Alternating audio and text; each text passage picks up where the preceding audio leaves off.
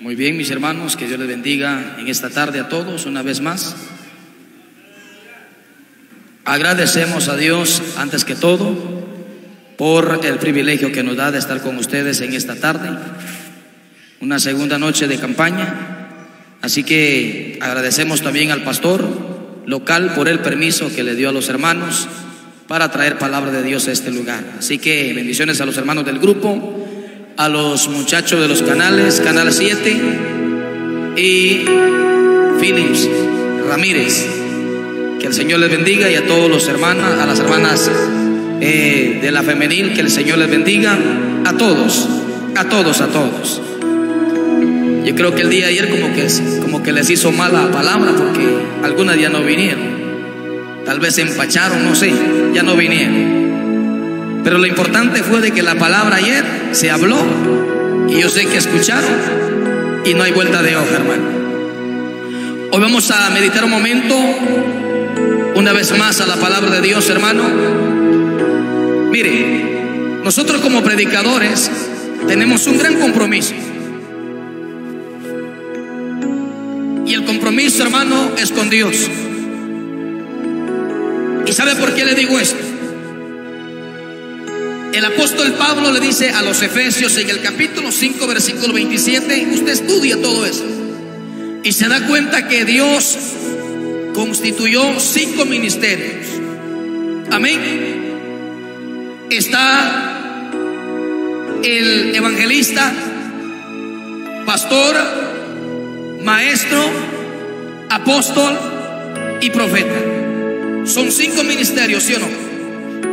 Esos cinco ministerios son los que en aquel día van a presentar a la iglesia y dicen que tienen que presentar una iglesia sin manchas y sin arruga y sin contaminación. Que no se le olvide. Usted y yo vamos a ser los primeros. El Señor va a decir, Marlon Barrios, venga para acá. Pastor Julano de tal, venga para acá. Pastor Julano de tal, venga para acá. Muy bien. Y empezará a pedir cuenta, dice la Biblia, del rebaño que un día Dios le puso a cuidar. Así que póngase de pie.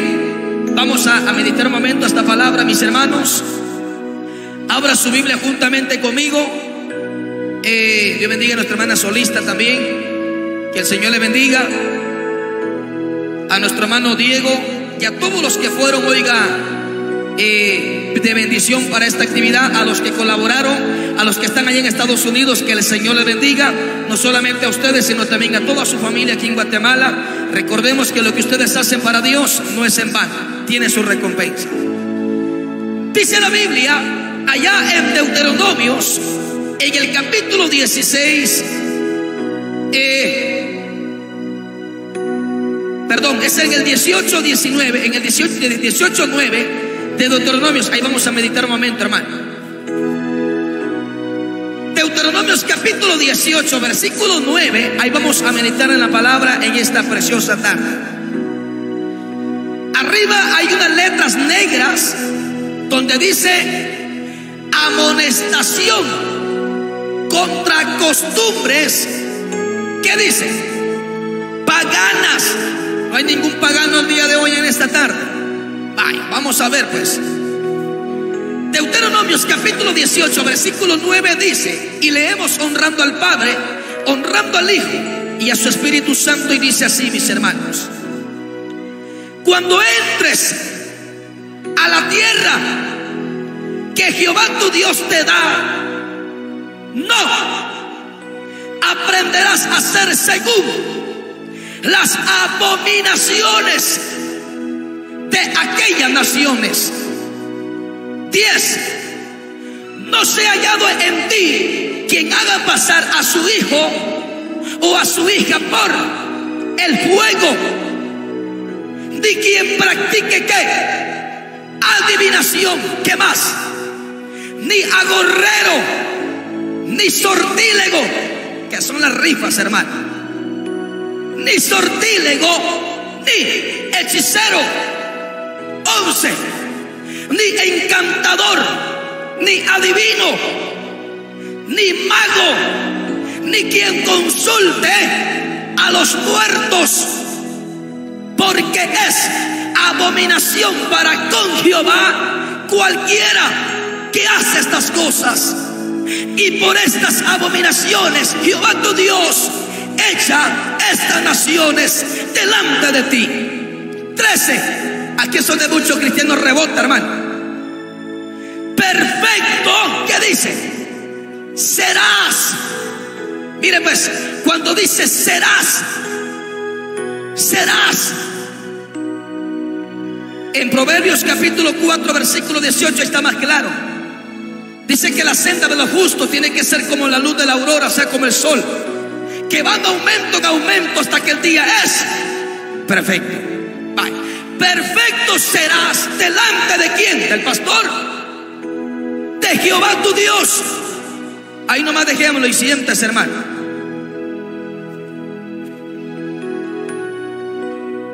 Y le decía que Dios, hermano, habla a través de Salomón también. Cuando usted estudia el capítulo 4, versículo 18 de Proverbios, Salomón suelta unas palabras y dice, la senda de los justos, ¿sabes de quién es un justo? ¿Sabes de quién es un justo? Aquel que es cabal con Dios. Aquel que hace, oiga, lo bueno para Dios. Aquel que hace lo agradable para Dios. Que así como Dios es bueno con él, así también él es bueno con él. Así como Dios le da, así también él le tiene que dar a Dios. Eso se llama ser justo, Entonces dice, la senda de los justos es como la luz de la aurora, o sea, como el sol. Cuando usted se levanta a las 6, 7 de la mañana, usted se para en su ventana tochelón todavía, se queda viendo el sol. El sol no se queda ahí, hermano. ¿Verdad que no se queda el sol ahí? El sol, dice la Biblia, hermano, va en aumento, en aumento. 7 de la mañana ahí está. 8 para arriba. 9, 10, 11, 12. En el centro está, hermano. Así tiene que ser tu vida y así tiene que ser mi vida. Así tiene que ser la vida del cristiano que tiene que ir en aumento, en aumento, hasta que en aquel día nos perfeccione el Señor cuando estemos allá en su patria celestial. Cuando dice de último, perfecto serás.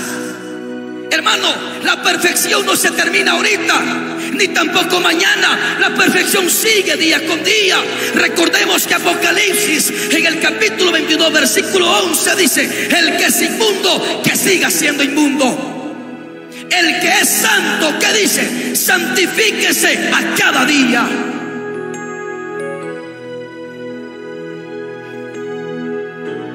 O sea, día con día usted tiene que dejar todo el paganismo, hermano. Día con día usted debe dejar de despojarse de todo lo que tiene, hermano, todo lo que no le deja darle la libertad a Dios, todo lo que le está estorbando en su vida para que usted no le pueda servir como debe de servir. Esta palabra, cuando usted estudia, hermano, esta palabra, se da cuenta que Dios se la dio a Moisés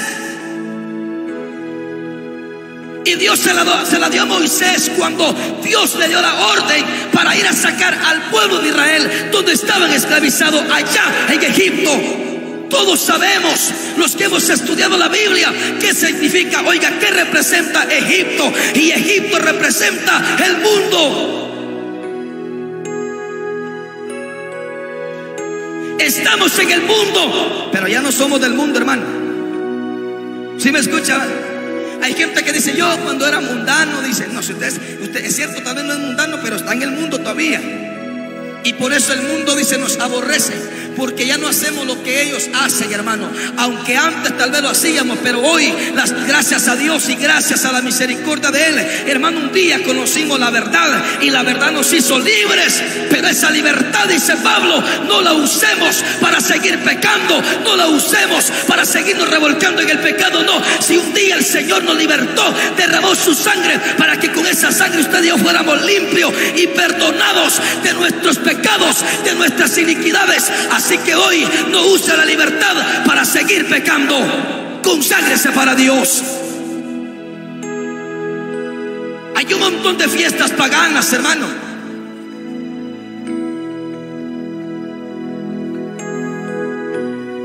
donde muchas veces, hermano, a veces este, llegan a las aldeas, a las colonias, a los pueblos. Y sabe algo, iglesia, ahí es donde usted va a demostrar si verdaderamente es o no es de Dios.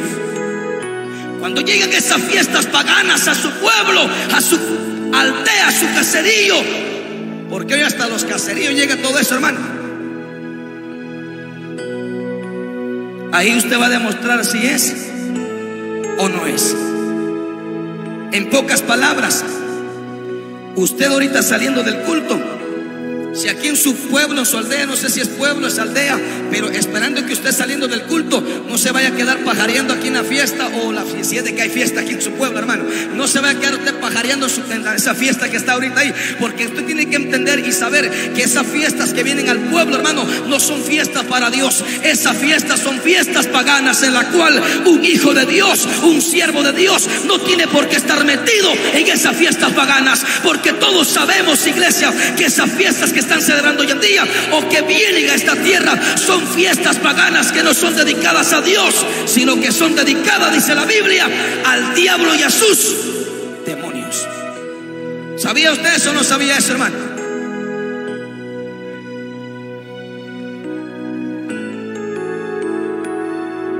Cuando usted escuche que hacen fiestas aquí en el pueblo y le dice usted que es la fiesta para la guadalupana, Usted como hijo de Dios no tiene que estar haciendo nada. No tiene, no tiene nada que estar hueliendo allá en esa fiesta, hermano. Nada. Nada. Ahora, si usted es un tibio de los que dice la Biblia, si usted es un tibio de aquellos hermanos que ahorita están en el culto, al rato está encuevado allá, entonces sí.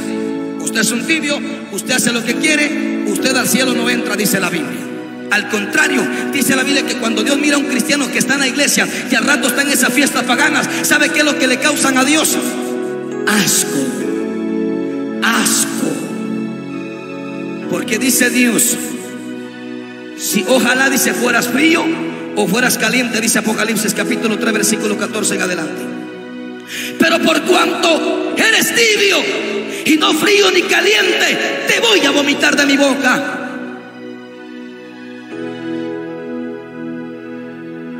Porque lo que están celebrando allá es pura abominación. Cosa que usted no tiene que estar celebrando, mamaita. Tal vez usted antes de venir al Evangelio, tal vez allá estaba. Tal vez allá estaba con la botella de guaro bailando, haciéndose un queso ahí. Y, y hacía un queso con su botella de guaro y bailando en esa fiesta pagana, bailándole, haciéndole propaganda al diablo. Pero hoy que está en el Evangelio, ahora usted tiene que ser diferente. Ahora usted tiene que demostrar que sí verdaderamente es la novia de Cristo. Y la novia de Cristo se guarda, se consagra. Vengan fiestas o no hagan fiestas, se consagra para Dios.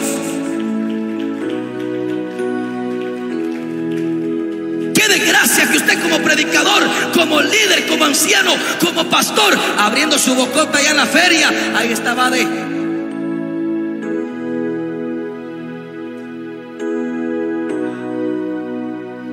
Vergüenza debería darle a usted.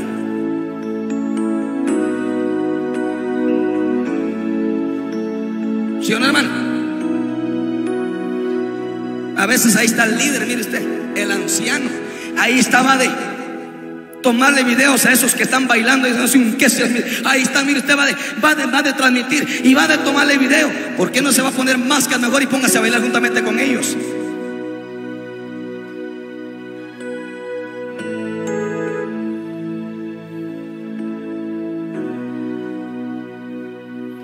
Esa es una costumbre, hermano. Hay un montón de costumbres en la tierra, hermano, que hoy en día están arrastrando, mira, la iglesia de Cristo.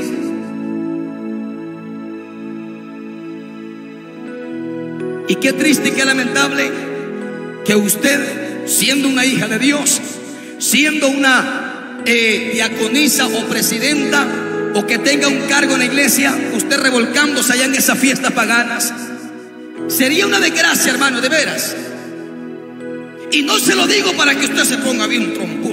Se lo digo ¿por qué? porque es mi trabajo y la amo en el amor de Cristo. Y sabe algo, iglesia, mi trabajo es darle la palabra para que usted un día, hermano, oiga bien, para que usted un día no tenga excusa, sino que en aquel día si es de que usted recibió la palabra y la puso por obra, en aquel día no haya excusa, sino que el Señor le diga, sierva fiel y buena, en lo poquito me fuiste fiel, en lo mucho te voy a poner, entra el gozo de tu Señor.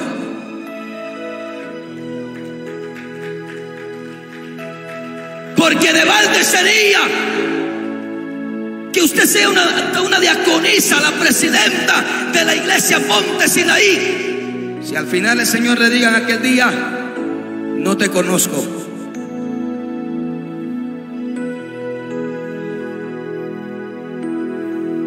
Mamá dice el nene, oiga pues, mamá dice el nene, que mi hija o que mi hijo, dice el tata o la nana alcahuete. Vamos a la feria, vamos a comer un churro. Churro va a quedar usted si no se arrepiente.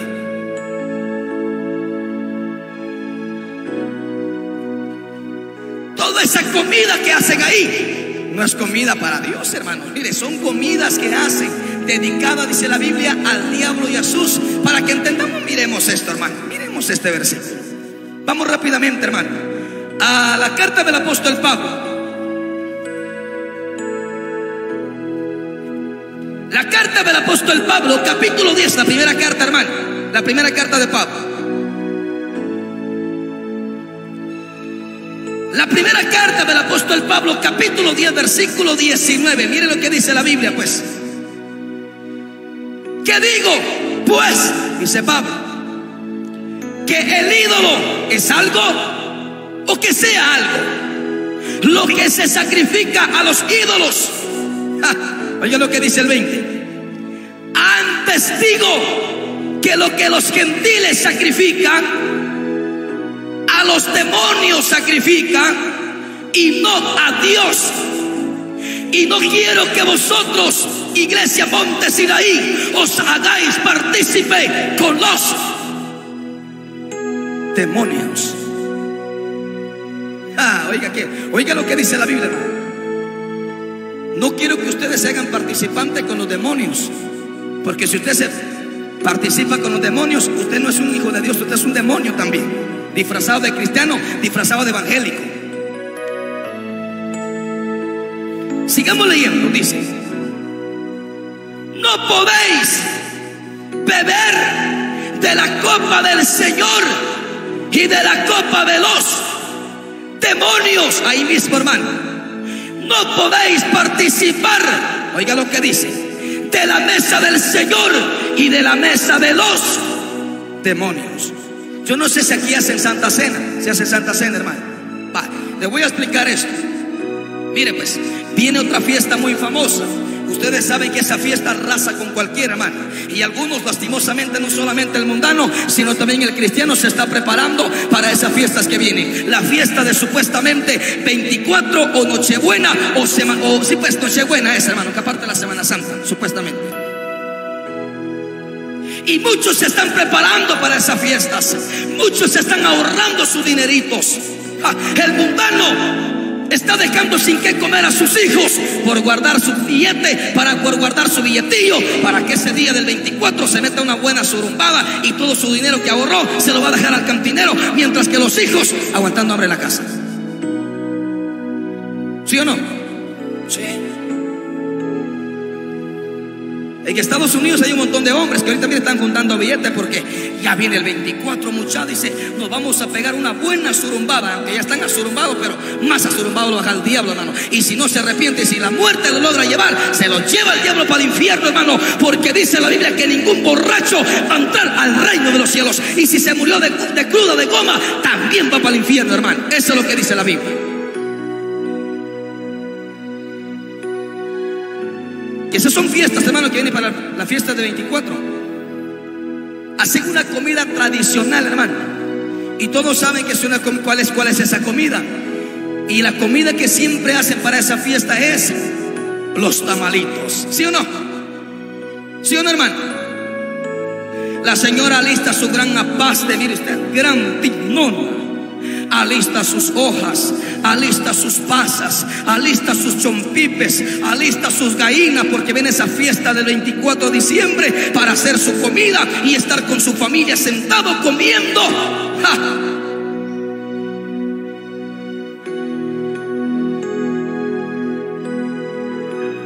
Y mire lo que oiga, le voy a decir algo. No murmure de la palabra, porque si usted murmura de la palabra, usted es un hijo del diablo, se lo digo, en su cara se lo digo. Si usted es un cristiano que le gusta hartarse cuando ven esa fiesta para el día de esa noche con los demonios, usted no es nada delante de Dios. Así sea evangelista, sea pastor, sea diácono, sea líder, sea la presidenta, usted no es nada delante de Dios. Pero si usted entiende en esta noche, en esta tarde la palabra, entonces el Señor le dice, tú eres mi hijo, tú eres mi hija, tú eres mi siervo, tú eres mi sierva. Y le voy a mostrar con la Biblia, hermano. Y nunca diga usted, hermano, bien bravo, Toño. Yo sí predico, hermano, porque no puedo estar pelando los dientes con usted porque no soy payaso. Con uno que entienda la palabra es más que suficiente, hermano. Con uno que entienda la palabra. Porque el día que el Señor venga, dice en su palabra que Él enviará a sus ángeles sobre los cuatro extremos de la tierra a traer a sus escogidos. ¿Y sabe cómo va a ser Dios en aquel día? ¿Sabe cómo va a ser Jesús en aquel día? Como usted cuando se va a la plaza a comprar sus verduras, llega a la venta de tomate y usted le dice al marchante, présteme una bolsa, marchante. Ah, qué bueno, dice el marchante, le da su bolsa, usted agarra su bolsita, su canastillo, agarra su tomatillo. Las mujeres que son buenas, como dice la Biblia, son sabias. Agarra su canastillo, agarran el tomatillo, dicen, este, este está podrido. Igual que usted que murmura de la palabra, ese no. Este, este está mayugado, igual que el hermano que hace arruga la cara cuando escucha la palabra. Ese no. Este hasta está macizo. Este está bien maduro. Este está sabroso. Este sí, vamos para adentro. ¿Verdad que cuando usted va a comprar tomate va que no echa ni podrido ni mayugado? Lo peor que aquí, hermano, está la mera mata al tomate. Así va a ser Dios en aquel día. No crea usted que porque, ay, es que el hermano es predicador, es que el siervo del Señor, ay, es que el ministro del Señor, no, hermano. A veces las apariencias engañan, ¿sí o no, hermano? ¿Sí o no, iglesia?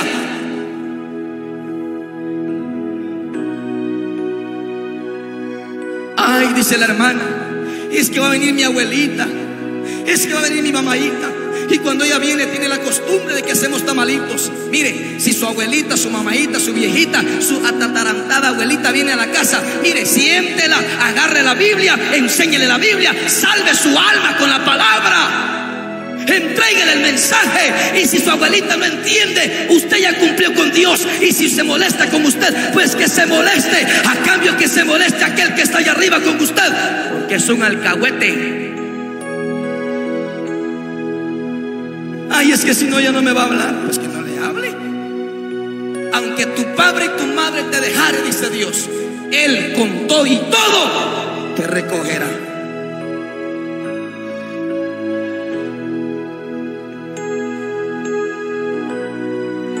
Todo aquel que hace, hermano, todo aquel que hace comida para ese día, le está haciendo fiesta a los demonios, hermano. ¿Y sabe qué dicen algunos? No, dice, comamos nosotros aquí entre familia, dice, comamos nosotros aquí a la medianoche, comamos entre familia, dice, que los mundanos celebren allá y nosotros aquí entre familia. Los mundanos allá dejen lo que chupen y que hagan todo, nosotros aquí entre familia, eh, eh, eh, sanamente, aquí comamos, aquí convivamos con la familia. Mejor váyase con los demonios allá, mejor allá afuera, lo mismo. Es lo mismo, iglesia.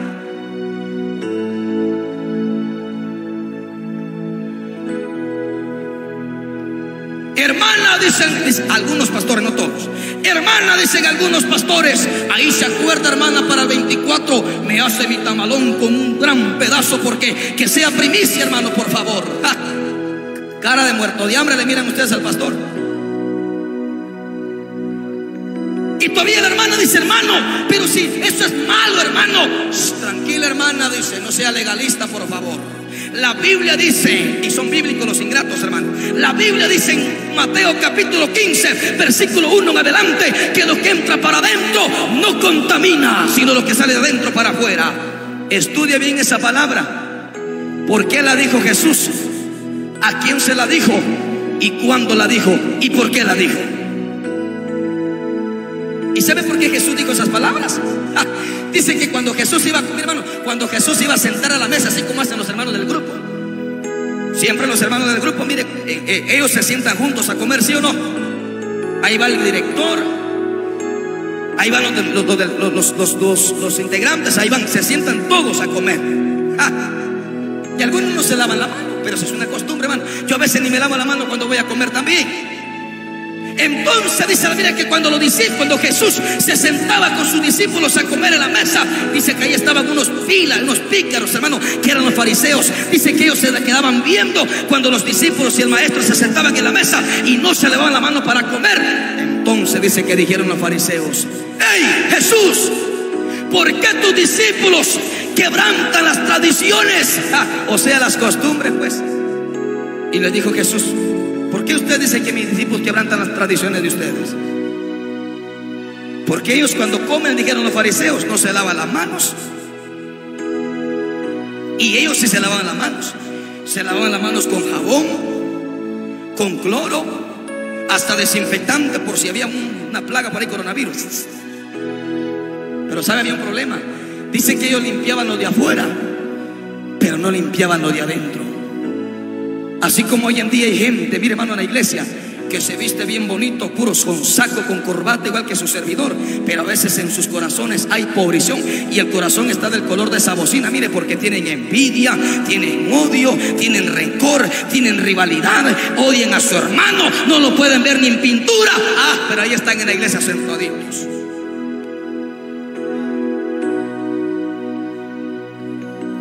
Es importante, le dijo Jesús. Hay que limpiarlo de adentro como también lo de afuera.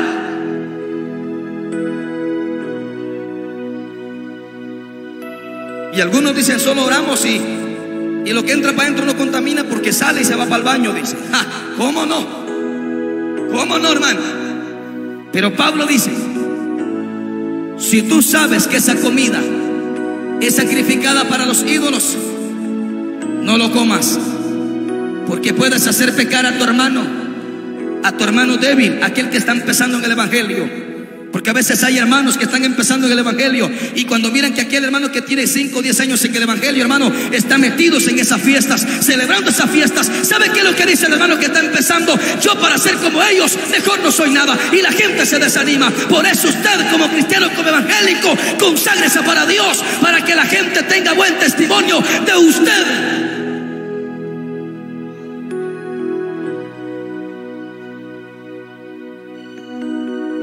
Estudia lo que dice Daniel, eh, Daniel capítulo 1, versículo 8, estudie todo Daniel, todo Daniel, hermano, capítulo 1, versículo 8, léalo. Y se va a dar cuenta que en esos tiempos dice la Biblia que Nabucodonosor había levantado una estatua. Y Nabucodonosor decidió hacerle fiesta a esa estatua, a ese muñeco.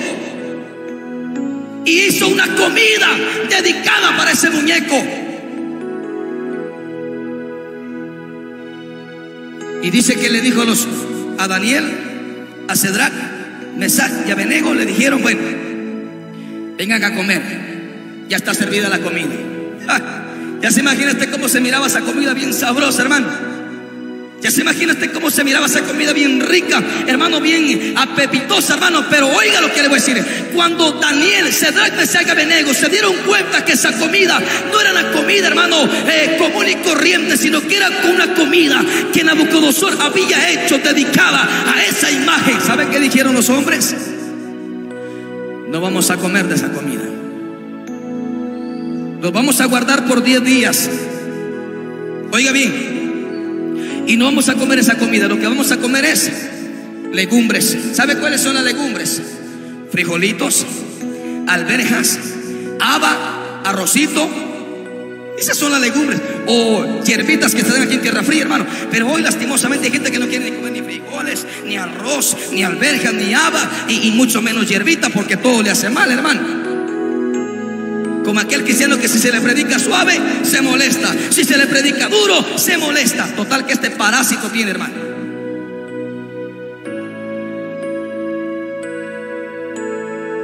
Y se consagraron los 10 días. Y dice que cuando tuvieron, oiga, se consagraron por esos 10 días, no comieron de esa comida sacrificada a ese muñeco. Dice que cuando Nabucodonosor lo fue a ver, dice que estos hombres, hermanos, estaban más robustos que aquellos que se comieron de esa comida. Y usted sigue leyendo, se da cuenta que dice que Dios, cuando estos hombres se consagraron para Él, dice que Dios le dio, oiga, pues, le dio sabiduría, conocimiento de la palabra, oiga, discernimiento de la palabra y interpretación de lenguas también, porque se consagraron para Dios.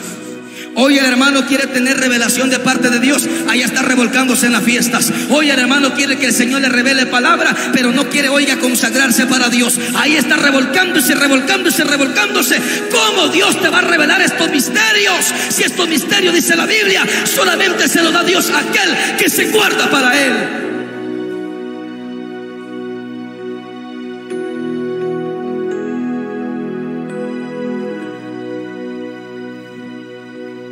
Miren lo que dice este versículo, hermano. Segunda de Corintios. Ya vamos a ir terminando, hermano. Poquito pero sabroso. Segunda de Corintios. Capítulo 6, versículo 14, hermano. Hay muchas fiestas paganas. Busque ese versículo y lo deja preparado ahí. Hay muchas fiestas paganas, ¿sí o no? Noche de Halloween, que es el día de las brujas. Noche de demonios. Y algunos cristianos, decía hace unos días, hermano, que le compraron hasta traje a sus hijos para que fueran a pedir dulces a las calles. Ah, sus hijos no son mendigos para que anden en la calle, hermano. Tampoco son demonios. Dice la Biblia en el Salmo 127, 3 en adelante, que tus hijos y mis hijos son herencia de Jehová, no son cualquier cosa, para que tú los estés dedicando al diablo y a esas fiestas paganas.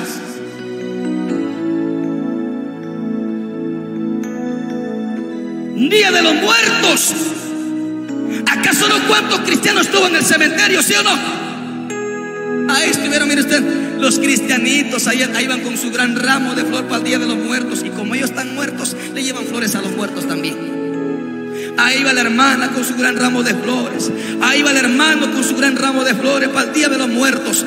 Hipócritas sos. ¿Sabía usted que los fariseos también adornaban los sepulcros? ¿No sabía usted eso?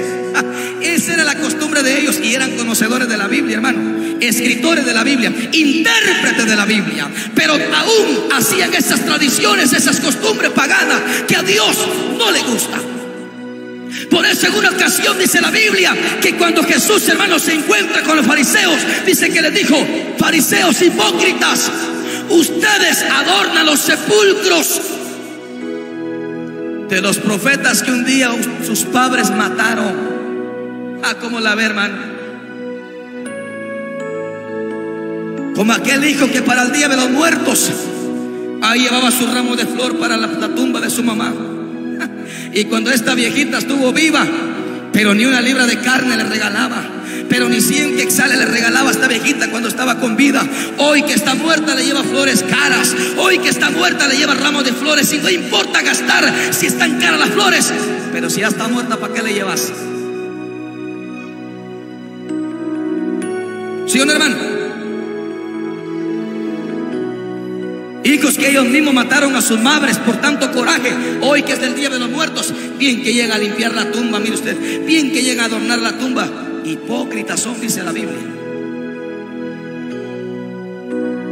Hoy que la viejita se murió, bien, mire hermano, el panteón de, terraza, de persiana, de balcón.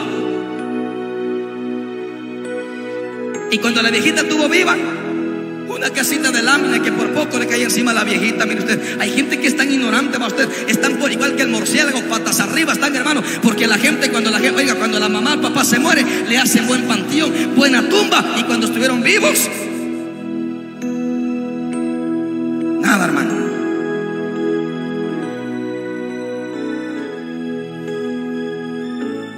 Deje estar adornando muertos, hombre.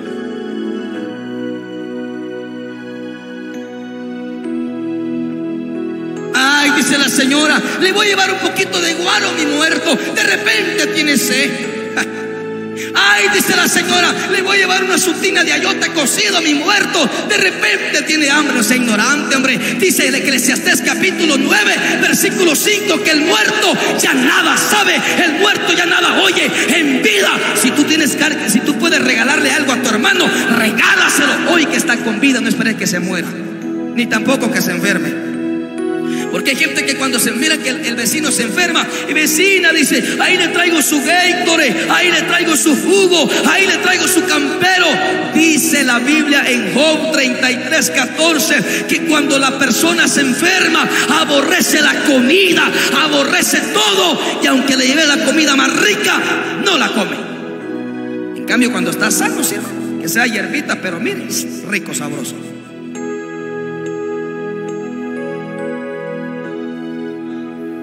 Terminemos con esto, hermano. ¿Ya tiene segunda de Corintios? Capítulo 6, versículo 14, ¿ya lo tiene, hermano? Vaya, oiga lo que dice la Biblia, pues. No, una vez más. Allá atrás decían no. Aprenderás a hacer según las costumbres o las abominaciones de aquellas naciones. Aquí mismo voy a repetir una vez Pablo.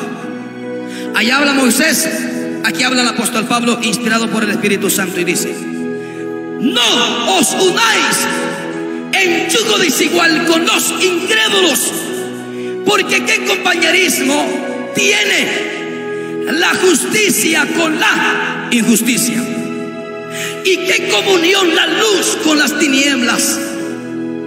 15 ¿Y qué concordia Cristo con Baal, o sea, con el diablo? ¿O qué parte el, creyente con el incrédulo? 16. ¿Y qué acuerdo hay entre el templo de Dios y los ídolos? Porque vosotros sois qué? El templo de Dios, del Dios viviente. Como Dios lo dijo, habitaré y andaré entre ellos y ellos serán mi qué? Pueblo. Mire qué bonito, hermano. Dios está en su pueblo, aquellos que se consagran. Recuerde que dice Pablo que usted y yo somos el templo y la morada del Espíritu Santo de Dios, hermano. Sigamos leyendo. 17 dice, por lo cual salid en medio de ellos y apartado, dice el Señor, y no toquéis lo inmundo. ¿Y qué más dice su palabra, hermano? y yo os recibiré, dice Pablo, dice Dios a través del apóstol Pablo. 18. Y seré para vosotros por Padre, y vosotros me seréis hijos y hijas, dice el Señor Todopoderoso. Aleluya. ¿Qué comunión tiene la luz con las tinieblas? No. Claro que no. No tiene comunión la luz con las tinieblas, hermano. Para esa fiesta, mire usted, lastimosamente, aún para esa medianoche, hasta los hijos de los cristianos están arriba de la terraza. ¿Sí o no, hermano? Arriba de la terraza, ahí están arriba los patojos, hermano. Tronando cohetes, tronando bombas, tronando metralladoras y chiltepitos y tantas cosas, hermano. Ahí están los patojos arriba, haciéndole fiesta al diablo. ¿Sí o no? ¿Cuánto de dinero gastan? Algunos gastan, gastan 500, mil, dos mil, tres mil, cinco mil. No sea ignorante, señora, dice la Biblia. No gasta el dinero en lo que no es pan, en lo que no es sacia. Cómprale mejor zapatos a sus hijos. Cómprale mejor ropa a sus hijos. Si tanto dinero tiene, deje de estarlo quemando. Deje de estarle fiesta, haciéndole fiesta al diablo. Mejor déselo a alguien que sí lo necesita.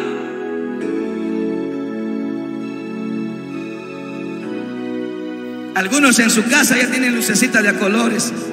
Ya en el corredor ya pusieron. Su arbolito ya lo tienen en la casa. En su oficina. Ahí tienen el arbolito con música. Tontosos, tontosos, tonto, tontosos. Y ahí está el hermano contento que el diablo está haciendo otra vez la música, que es un tonto y sigue siendo tonto, hermano. Usted no necesita luces en su casa para que haya alegría.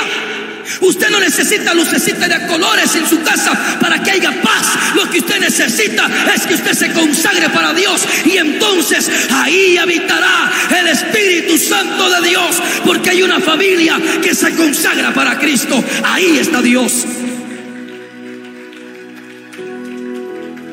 Póngase de pie, hermano. Ya me cansé. Y más me canso cuando la gente no hace caso, hermano.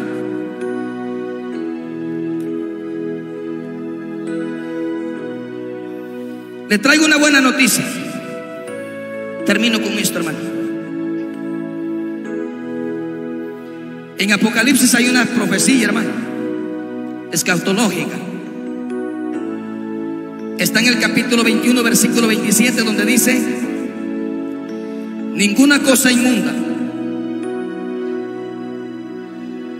o que hace abominación o mentira entrará en ella, que es la nueva Jerusalén, sino los que están escritos en el libro de la vida del Cordero de Dios.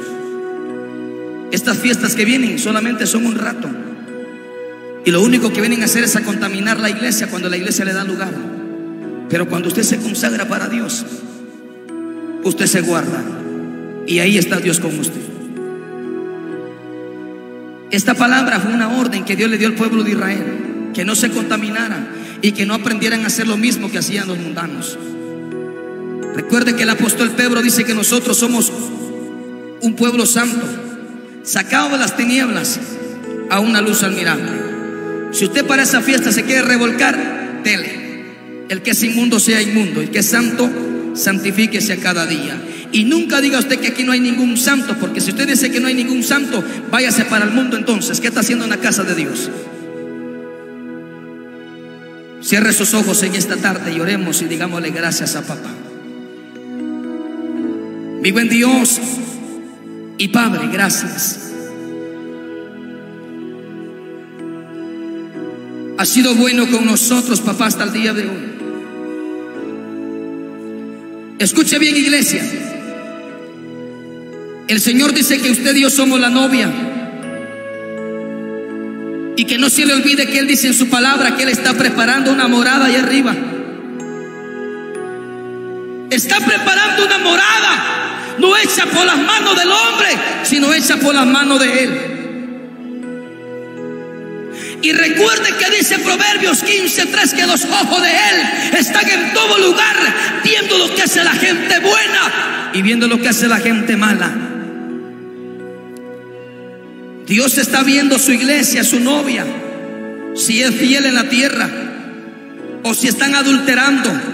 Como dice Santiago 4:4, que muchos se están adulterando, hermano, se están revolcando con el pecado y se están volviendo adúlteros.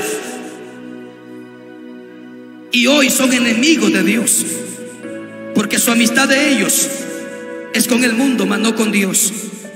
Y por esa causa se han hecho enemigos de Dios en esta, en, en esta día de hoy, hermano. Y recuerde que dice Dios en su palabra que usted y yo somos la novia. Y Él no viene por una novia traicionera, Él viene por una novia fiel, por una novia, escuche que respete ese novio. Y Él viene a traernos para irnos a unas bodas. En gloria a Dios. Fuertes aplausos, hermanos y hermanas.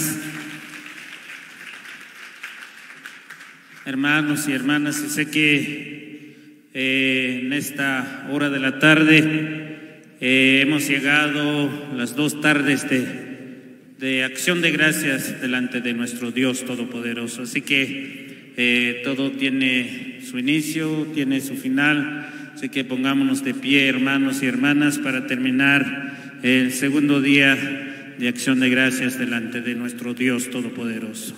Oremos, hermanos y hermanas. Amantísimo Dios Todopoderoso, Dios de la gloria, te damos gracias, Padre, por todo Dios de la gloria, lo que tú has hecho, Padre, y también de parte de tus hijos e hijas, Padre, quienes también apoyaron para esta actividad las dos tardes, mi buen Dios Todopoderoso, todo patrocinadores, oh Dios de la gloria, bendígalos grandemente, oh Dios Todopoderoso. También, papadito lindo, a la sociedad de diaconisa, Padre, en esta hora de la tarde los bendecimos, oh Dios Todopoderoso, por estas dos tardes, Dios, delante de ti, Dios Todopoderoso por esta acción de gracias que han hecho delante de ti y que cada uno de ellas, oh Dios Todopoderoso, también sigan trabajando en tu obra, mi buen Dios Todopoderoso. Es lo que pedimos y agradecido estamos delante de ti, nuestro hermano pastor, todos los ministerios de nuestra congregación delante de ti, mi buen Dios. Gracias Padre, gracias Hijo, gracias Espíritu Santo. Amén y amén. Que Dios nos bendiga, hermanos y hermanas. Que Dios